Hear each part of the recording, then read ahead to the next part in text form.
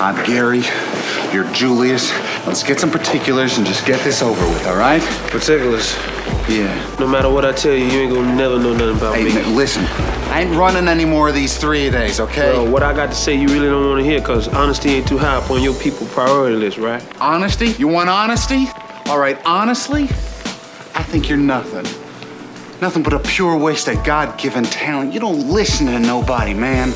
Not even Doc or Boone. Shiver push on the line every time, and You blow right past them. Push them, pull them, do something.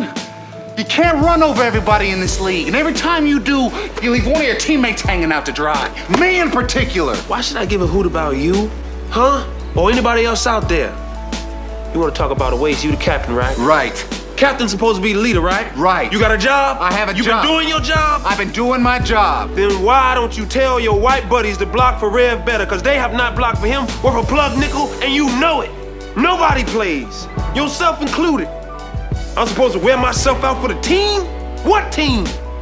No, no, what I'm gonna do is I'm gonna look out for myself and I'm gonna get mine. See, man, that's the worst attitude I ever heard. Attitude reflect leadership, Captain.